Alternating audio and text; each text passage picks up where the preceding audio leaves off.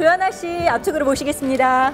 wow, 너무 멋지시네요. 네, 조현아 씨 입장하고 계십니다. 네, 중앙에 서 주시고요. 네, 정면에 있는 카메라 보시겠습니다. 네, 오른쪽도 한번 보도록 하겠습니다. 네, 왼쪽도 한번 보도록 하겠습니다. 와, 조현아 씨 오늘 너무나 아름답고 gorgeous합니다. 네, 네, 감사합니다. 오른쪽도 한번 보시도록 하겠습니다. 네, 왼쪽으로 한번 보시도록 하겠습니다.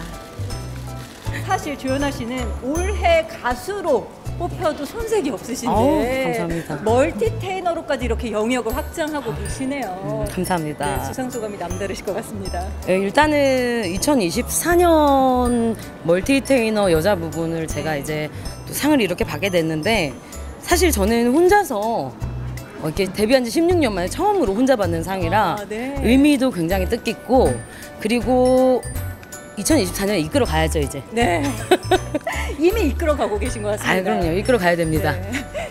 조연아의 목요일 밤 네. 의 경우에는 정말 화려한 캐스팅으로 게스트분들이 많이 나오고 계시고 입담이 너무 재밌으셔가지고 어우, 감사합니다. 매일 화제가 되고 있는 것 같아요. 벌써 지난번에 나온 막 규현 씨 기사 엄청 많이 쏟아지고 맞아요, 있잖아요. 맞아요. 네. 혹시 조연아 씨 마음속에 원픽으로 아 이분은 정말 꼭 초대하고 싶다. 그런 게스트가 있으시면 여기에서 있습니다. 네. 정말 첫 회부터 이분을 꼭 모시고 싶었던 제발 이 기사를 보고 꼭 나와주셨으면 하는 빈지노 오빠 제발 좀 나와주세요.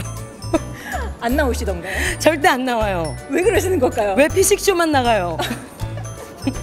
목요일 밤 좀 나와주십시오. 나와주십시오. 네, 김수현 씨 기다리고 있겠습니다. 네.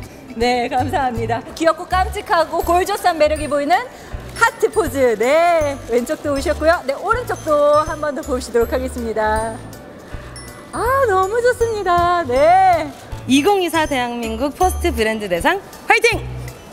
화이팅! 네, 감사합니다. 시상식장에서 뵙겠습니다. 네, 감사합니다. 다음은요.